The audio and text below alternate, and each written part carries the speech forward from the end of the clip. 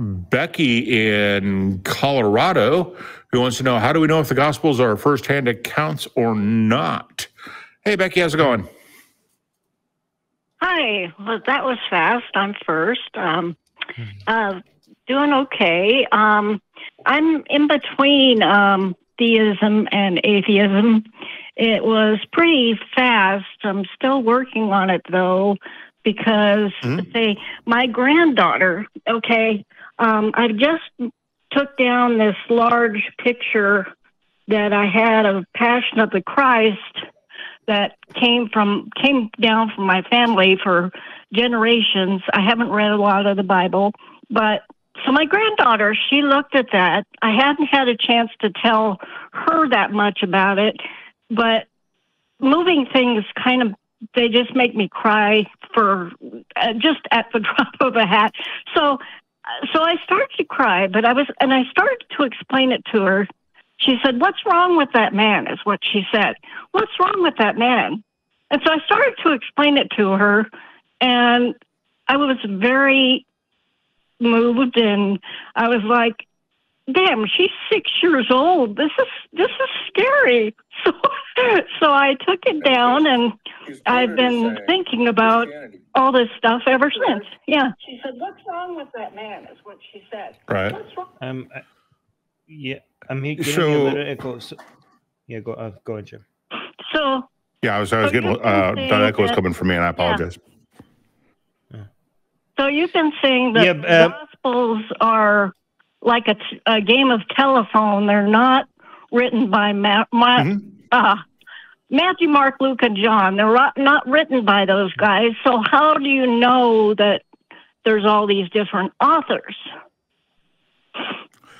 And that's that's a good question. And part of the answer is as we go back to the the uh, manuscripts that we do have, and and we compare those, and we can see that we have uh, very very different writing styles, um, word choices, and things like that.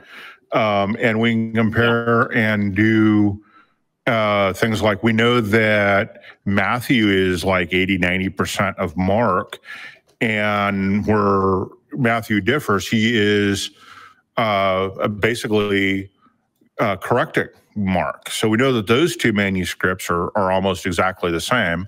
Um, and so, uh, is that really two different ones? But we also know because when we go back to um, some early church fathers, we see them quote parts of the, the four gospels, but they never refer to them by their name. And in other cases where they're quoting other people, they do quote the name or the author um, of the quote. In this case, the, some of these these folks are, are anonymous, uh, even to the early church fathers. We don't see a name on any of them until like the second century, um, until much later. And there's some folks who, who are looking at these going, you know, the first sentence of, and I forget which gospels are off the top of my head, uh, could be the actual title because of the way they're worded, and a scribal error put them as the first sentence rather than uh, the title. So there's a lot of things, but the bottom line is that yeah. we just don't know. I mean, the if if we're being generous, the earliest gospels we have go back to you know 40 or 50 which is pretty much a lifetime back then pretty close to it um, considering that the, the apostles were, you know, in their 20s at that point, right? Um, eh, may, maybe a little bit younger, but what happened in between that, right? We're, we're people's memories fade. We can go back and talk to people who were at Woodstock and find that their memories don't exactly coincide with what happened there. We can look at a lot of these issues and memories fade, memories change uh, as people talk about things. Memories that aren't there become solidified, and things like this. And so, even if you grant the early 40, 50 time frame, that's a lot of time, even if those are the real authors, for their memories to be not quite what they should have been. Just somebody, and, and I'm not saying anybody is deliberately doing this. I'm just saying this is the way human brains work, right? Um, yeah. So we they, they may be accurate, but how accurate are they? Um, we also know that people are are often easily misled by common magic tricks. The water and the wine thing is really, really easy to do. Um, you just need a trick pitcher and you can do it. It's done today. Um, mm. So th- that's how, you know, there's a whole lot of cloud around who actually wrote them. There's a whole lot of cloud around how accurate they could possibly be to what actually happened. And then you can look at things like Mark has almost no supernatural elements in it, and John has a whole heck of a lot more. Um, so as time passes, John's generally considered to be later than Mark. Um, you know, the fish the fish gets bigger in fish stories, right? It goes from being a little tiny thing to a great big thing, and so legend gets added, uh, even by storytellers. So we don't know how it actually does that. Um, uh, you know how accurate those are. Um, and I know you're you're talking about how your daughter was asked what's wrong with that beaten and bloody man uh, and taking it down. That is kind of a a uh, we don't we don't like showing that kind of stuff on TV, and yet Christians seem to want to throw that all over the place, right? Um, we don't like we we don't allow TV you know TV news to show things like that. Why are we doing it? Uh, just for just for Christian just for Christianity, right? It's like it's Christianity just, gets a yeah, pass for that. Something I've had for years. Just something mm-hmm. I've had for years, and it never struck me this way. Yeah. Right. Uh, yeah, and, and we don't, right? Uh, we don't see the the torture um, as we don't see torture as being okay. We don't just see torture being displayed as okay. So why all of a sudden do we have that? And what does it really prove? I mean, what what what is the purpose behind it? I so, yeah, I never before thought about the fact that you know an omniscient God, if we do something wrong, needs to be seriously forgiven. Why all the all the uh, rigmarole and I need a sacrifice? That doesn't that make him just like all the gods that need a sacrifice? All the gods throughout history that have needed sacrifices. Becky, Becky may I answer the question that you started, uh, you called in for? You know, based on okay. how I think, how okay. I go. Okay, so you asked, how do we okay. know if the Gospels are first-hand accounts or not, right? So if you look yes. at this, is basically a question that historians usually try to answer, right? So, and if you go look it mm-hmm. up, you will see that they have a very detailed methodology, right? Like they, this is a very good question, and many many experts have been working for years to try to answer that question in as much detail as possible. And they have been if you go into look into their methodologies you would be so impressed about how much thinking has gone behind this very this the question that you're asking sounds like a you know simple question but the answer um is what academics have been working on for years right? So the it's a very important mm-hmm. it's not just about the gospels it's about so many other claims that historical figures have been making both you know eh, kings emperors um other you know historians throughout history. How do we know if the things that they're writing are not just made up or is accurate? So there's a science i mean to this. There's a, like a methodology to this. Uh, and when you go and study how much work goes into this, you would be you realize that people just making claims that oh this is first hand account the gospels are first hand account. How e- how easy people just accept that where but in like in academia yeah. this is a very serious question that is you can't just answer you, you cannot just accept a claim like that without actually going in digging.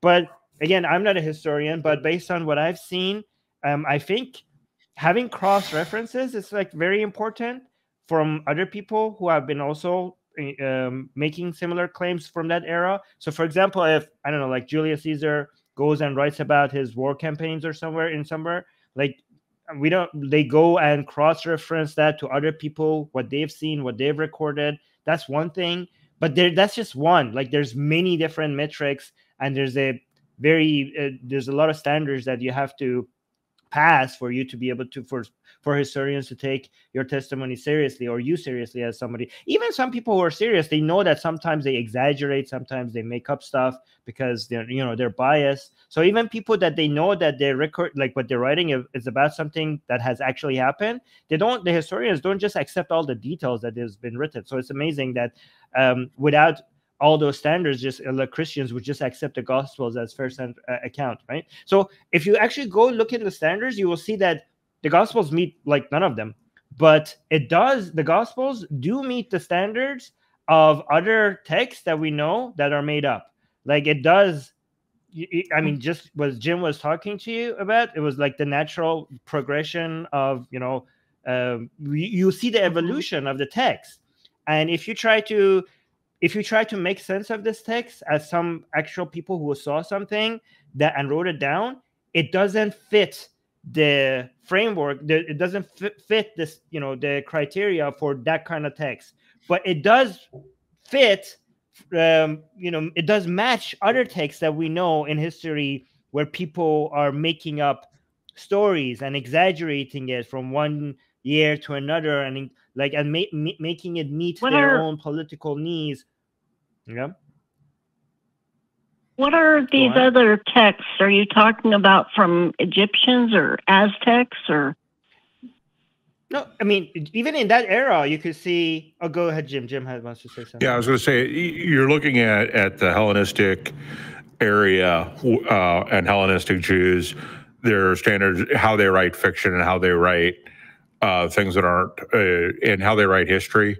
Um, there are there are things that they did and things that they didn't do for the most part, um, and the the Gospels tend to follow uh, the not historical uh, texts in terms of their the way they're written. And while not all historical texts from that time period have authors, a lot of them do. So that's kind of an interesting, interesting little bit. Also, that the Gospels were pretty much written in what is considered higher educated Greek. And so it seems very, very odd that if this was supposed to be a history, that it's not written that way. Um, also, Luke, yeah. the, the first uh, a couple paragraphs are Luke admits he's putting stories together. So that can't be eyewitness yeah. um, by definition, right? Um, so there's there's some issues there, but yeah, when you start looking at the the broader spectrum of stuff that was written at the time, um, and you start looking at how the Jewish people were becoming more Hellenized um, and Romanized in that area, Hellenized. then it starts. What does, what does that mean? Um, so yeah, when you just the adopting uh, aspects of, of Greek and Roman culture uh, to include borrowing stories, um, both religious and secular nature, um, and that just goes beyond dress, but speech and the ways of thinking. Um, there's uh, we don't start to see this you know we talk about a, a, motif like the dying and rising god and that is a, a, a motif in much the same way that uh, science fiction will use uh, we got to fix the what call it with the what's so that we can go wherever we're going. You know that's a motif. And so it doesn't point to stories being fictional but it, it does make it kind of interesting to see how stories change meld and and merge uh, through time. And at the time that, that you know, 2,000 years ago, when Jesus was supposed to be walking around, the, the Jews were fighting becoming Hellenized, becoming uh, having Greek aspects of culture invade their own, um, as well as as Roman as well. So uh, there's some really interesting things when you start looking at the big picture of what's going on in the Middle East at the time, um, in terms of culture yeah. and writing and what was being discussed. So to, to make this simple, so can you're I talking. It, can I yeah. make it? Make it to make this simple. Like imagine if you have like a cult or a new sect and a, a new um, sect yeah. of a more dominant religion. Well, let's call it B, right? And this B is now just newly developing. And then there's another couple ones out there. Like let's say there's another one, another sect that is competing with it, that is called C. and both b and c are in this environment where there's a there's a dominant culture and a dominant way of storytelling and narratives that is called a right? And b and c are competing and b like let's say it's like christianity's early days. And you can see that b and c are both are like throughout time their texts are their deities or their main guy is becoming more and more um impressive right? And this is in an environment where you could yeah. see evidence that they're competing with each other. And then you could also see B's way of storytelling is fitting more and more with the way that the the dominant culture, like Hellenization, for example, mm-hmm. like the A culture that is dominant, is like fitting that structure, and it's the the way that the stories are being told seems to be for an audience that is more interested in A way A stories, A type stories, right? So if you look at observe all of this, you can like I can I see what's happening here. Like you could come up with an understanding. Like you can see that. Of, so this this B the stories that is coming out of B is probably not um sto- history. It's probably based on when I put everything together. I could see that there's a sect. It's a new sect. It's competing with other sects and it's trying the main guy is trying to compete with other sects to show our guy is more impressive than your guy and it's also trying to appeal to a broader audience that likes stories to be told in a method of a. Do you understand? This, this is what what's happening. It seems like what's happening here if you put everything together. Does that make sense? Yes it's it's beginning to make sense. Um so hmm. we're talking about things that happen in the middle east and we're talking then about um, Christianity, Jewish also, and Islam, and that's in the Middle East. So, how did it get to England? And then, of course, we know how it went from England to the United States. That's a given. But um, going from m- the Middle East to England, that's kind of weird. The Roman, well, the Romans. Okay, so the Romans at some point decided to make this the, uh, the religion of their empire, right? Because of a, a, power play, and the Romans ruled like they yeah. had all of Europe, and that's how it got from the Middle East to England because the Romans were ruling over everything, including England. Is that okay. accurate, Jim? Okay. Just a sim.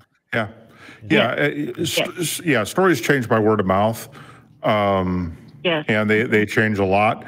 And storytellers will often change a story to make it more local and therefore more interesting uh, to the people they're telling the yes. story to. So those are all things that that happen as well. But you know, yeah. we we've been talking for quite a bit, Becky. What, what's going through your head? Yeah. Well, now I'm seeing. Uh, I have no idea why this is so cemented that at this point here in the U.S., we can barely read a whole book, and yet we're we're just taking it on faith. How how did we get stuck? When did we get stuck in this? Uh, when the pilgrims first came over. Years. Yeah, I mean, I mean it's not is, just. Yeah, it's yeah. not just the U.S. As like Armin was saying, it it it's been happening throughout Europe, and and you know once the Roman emperor uh, took the faith, that's when it really takes off. Um, we see two instances of uh, the Romans creating laws making it punishable by death to not believe. Um, yeah. And the, quant- the quality of the Roman violence is to, you know, at the time was, was unequaled. Um, and so when they spread Roman, and that's just kind of the way it happens. And if we don't question as a child, we trust our parents our parents get proven right many times. And so we'd come to trust our parents as authority figures and knowing what they're talking about. And on and on it goes, you know, until someone says, hey, wait a minute, and starts yeah. thinking. Yeah. Do we hardly yeah. have a choice at, at tiny people as tiny people? Um, yes. Um, so. Yeah. Yeah. Yeah and then you have to start asking questions at some point, right? And you start going, "Why do I believe this? Uh-huh. What what's the evidence?" This is, by, by the way, Becky, this is how we humans have been mostly deciding what to believe in for the past uh, 10, 12, or even longer. Actually, no, way longer. Uh, thousands. It's been thousands and thousands of years. This is not a new thing. It's only recently that there's a good portion of the population who is who is trying to consider maybe questioning um you know faith. So if you're if you're surprised like how do we just accept these things and go like this is not a new thing. Like throughout history this is how we decided to believe things. Most of us not more than the vast majority of us. Yeah. So um yeah how our mind operates. just started noticing yeah. yes. Yes. Yeah. Go go. Anyways um, becky if you don't have any jim i think we should go to other callers unless becky oh becky do you have, any, do you have any other questions Becky, one well, one last thing, um, one last thing. Um, let, let me just tell you one Becky, wait, wait, Becky, one last thing. If you are concerned about children watching Jesus being tortured, like see, seeing the tortured body of Jesus, if you think that's problematic for children to see, um, when yeah. the concept of hell and teaching that to children is that times a million. Oh yeah, I think. Yeah. Yeah. Yeah. Yeah. Yeah. Yeah. All right. Uh, did you have any other questions for us, Becky? Yes. Did you have any other questions well, for us? Um, later on, yes, later on, perhaps we can talk about how um, now that we are able to do things like dye our hair in non-human colors and and maybe shave it off and put on all kinds of uh, ornaments and whatnot.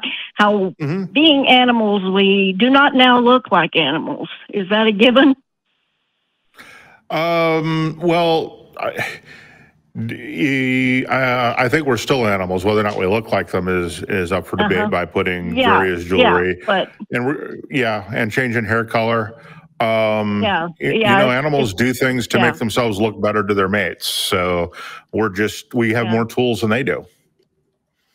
Yeah, we have way more tools. yeah. Okay. Okay. I will let Thanks, you Becky. move on then. Okay. All right. Thank thanks, you. Becky. Thank you. Thank you, Becky. Thank you.